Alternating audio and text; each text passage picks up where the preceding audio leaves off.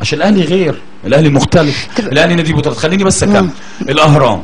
الأهرام بيدي فلوس للنادي الأهلي أكتر وهو الكابتن حسن حمدي هو رئيس النادي هو رئيس المنظومة ال- اللي بيتعاقد مع النادي الأهلي. موافق؟ ماشي.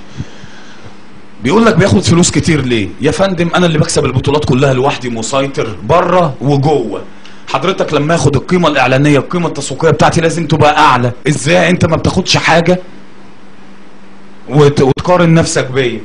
طيب نخش على ثالث حاجة. حاجة بال... أنا بكلمك باختصار يعني. آه أنا بسمعك طيب للآخر. ثالث حاجة ومهمة قال لك بالحكام. مم. يا فندم ما يا فندم. ده اللي أنا ما كنتش عاوزه كان فيه في لا الأول. لا لا نتكلم في كل حاجة. مم. آه، بالحكام. مم. أنت بدل ما ما ما, ما آه، آه، تخطط مم. وتنجز وتحقق بطولات بمجهودك بتعبك شوف النادي ده بينجح إزاي. وقلده. من غير ما تجيب سيرته بالوحش طيب، أنا آه، عاوز بدل- أسأل حضرتك بدل سؤال. التب- هو اللي أنا عايز أقوله يا؟ كابتن بدل. خلق خلق الأعذار للجماهير من عدم الفوز بالبطولات الإدارة بتقول أشتغل وأتعب وأشتغل على الإخفاقات بتاعتي عشان أنجح ده اللي أنا فاهمه بدليل النادي هنبطل؟ الاهلي بياخد بطولة ها. لما بيروح منه بطولة الدوري بيرجع ياخد سبع مرات طيب وثمان مرات يبقى هنبطل كلام في موضوع حسم نادي القرن اللي هو اوريدي محسوم هو محسوم هبطل كلام مش إح- يعني بكلمك إمتى هنبطل أو الناس تبطل كلام في الموضوع ده؟ لما النا... لما الأفراد والأشخاص و...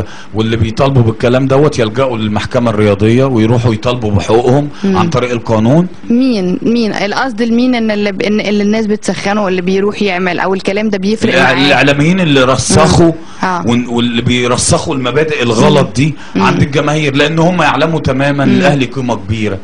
لأن زي ما في متعصبين هنا في في جماهير النادي الاهلي ناس واعية اللي أنا أقصده. تعلم قيمة نادي الزمالك اللي ما بتقللش منه. وده كان رأيي من الأول اللي أنا لما نجيب سيرة نادي الزمالك لازم يبقى باحترام. مم. طبعا. وتدي له قيمته. طبعا. هو وجمهوره. كابتن. شادي في خبر انت قلتيه بس أقول أيوه عشان بي بالكلام ده بيتغلط دلوقتي. آه خبر إيه أنا طيب؟ كنت موجود في النادي. والأستاذ كمال درويش هنأ النادي الأهلي وهاتوا الصحف وهاتوا الصحف القديمة كلها وارجعوا آه. لتاريخ الصحف كلها. وقلت الشماريخ. قلت إيه على لا الشماريخ لا مش شماريخ. آه وبريء من تهمة الشماريخ الأستاذ كمال درويش. مم.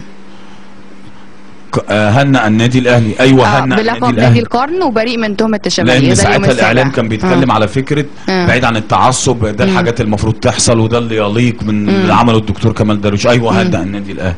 أيوه هنأ النادي الأهلي.